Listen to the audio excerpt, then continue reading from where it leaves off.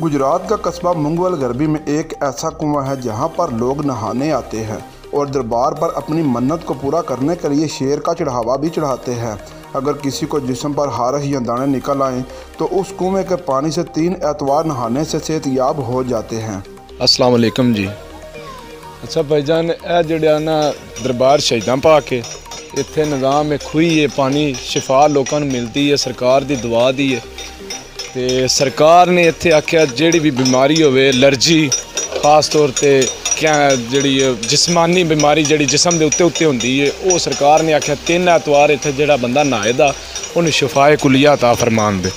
ਔਰ ਜਿਹੜੇ ਕੱਪੜੇ ਪਹਿਨ ਕੇ ਆਵੇ ਦਾ, ਉਹ ਸਰਕਾਰ ਜਿਹੜਾ ਨਾ ਇੱਥੇ ਰੱਖ ਕੇ ਜਾਣੇ ਸੂ ਤੇ ਕੋਈ ਨਗਰ, ਨਜ਼ਰ ਨਿਆਜ਼ ਜਿਹੜੀ ਹੈ ਮਿੱਠੇ ਵਿੱਚ ਦੇਣੀ ਸੂ। ਤੇ ਉਹ ਦਰਬਾਰ ਹੈ ਸ਼ਹੀਦਾਂ ਪਾਕ, ਜਿਸ ਨਾਂ ਤੋਂ ਇਹ ਦਰਬਾਰ ਦਾ ਨਾਂ ਹੈ ਸ਼ਹੀਦਾਂ ਪਾਕ। ਉਹ ਕਬਰ ਹੈ ਆਓ ਤੁਹਾਨੂੰ ਉਹਦਾ ਵੀ ਵਿਜ਼ਿਟ ਕਰਾਈਏ, ਬਾਦਸ਼ਾਹ ਦਾ।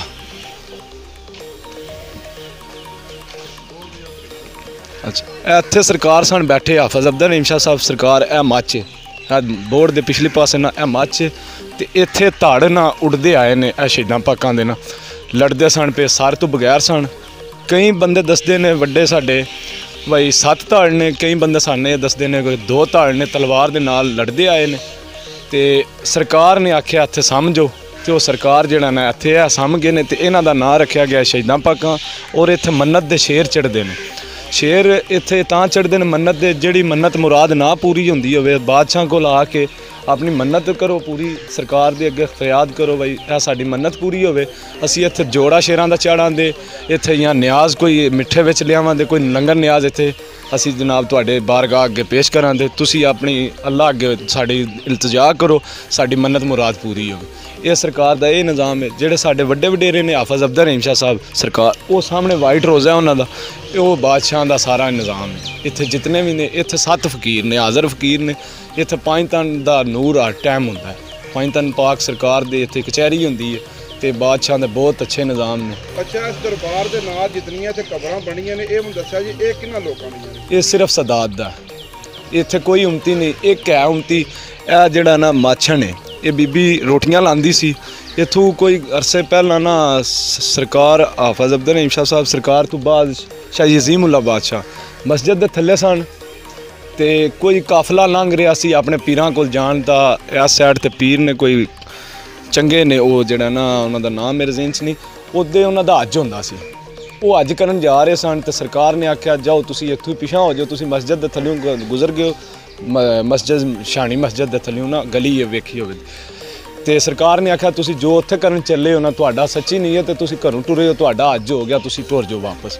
ਉਹਨਾਂ ਆਖਿਆ, ਨਹੀਂ, ਅਸਾਂ ਆਪਣੇ ਮੁਰਸ਼ਿਦਾਂ ਕੋਲ ਜਾਣਾ ਹੈ। ਤੇ ਜਾ ਕੇ ਅਸਾਂ ਜਿਹੜਾ ਨਾ ਉੱਥੇ ਹੀ ਹੱਜ ਕਰਨਾ। ਉਹ ਕੁਝ ਜਗ੍ਹਾ ਗਏ ਆ ਲੰਗਾ ਖੋਜਾਂ ਦੇ ਕੋਲ, ਨਾ ਤੰਦੂਰ ਸੀ ਇਸ ਮਾਈ ਦਾ, ਰਾਤ ਹੋ ਗਈ ਉਹਨਾਂ ਕੈਂਪ ਲਾਇਆ ਆਪਣਾ। ਤੇ ਉੱਥੇ ਜਨਾਬ ਰੋਟੀਆਂ ਲਵਾ- ਇਹ ਲਾਂਦੀ ਸੀ ਤੰਦੂਰ ਤੇ। ਉਹ ਰੋਟੀ ਲਵਾਉਣ ਗਏ ਨੇ, ਉਹਨਾਂ ਦਾ ਆਟੇ ਦੇ ਪੇੜਾ ਕਰਕੇ ਰੋਟੀ ਛੰਡ ਕੇ ਵਿੱਚ ਲਾਣ ਤੰਦੂਰ ਤੇ ਤੇ ਰੋਟੀ ਨੂੰ ਸੇਕ ਨਹੀਂ ਲੱਗਦਾ। ਦੂਜਾ ਜਿਹੜਾ ਸੀ ਦੂਜੀਆਂ ਰੋਟੀਆਂ ਪੱਕਦੀਆਂ ਹਨ, ਇਹ ਬੀਬੀ ਜਿਹੜੀ, ਉਸ ਬੀਬੀ ਦੀ ਰੋਟੀ ਲਾਂਦੀ ਸੀ ਨਾ, ਜਿਨ੍ਹਾਂ ਨੂੰ ਸਰਕਾਰ ਨੇ ਆਖਿਆ ਸੀ, ਤੁਹਾਡਾ ਅੱਜ ਹੋ ਗਿਆ, ਵਾਪਸ ਟੁਰ ਜਾਓ। ਉਹਨੂੰ ਰੋਟੀ ਨਹੀਂ ਸੀ ਪੱਕਦੀ।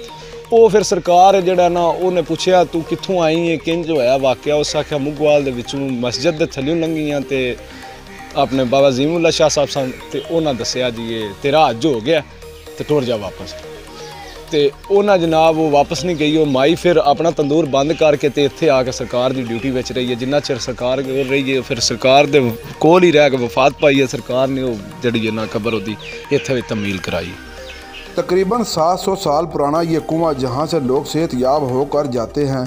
शहरियों ने हुकूमत वक्त से मुतालबा किया है कि इन जैसी तरीही मुकाम की देखभाल की जाए, ताकि लोग मुस्तफ़ हो सकें।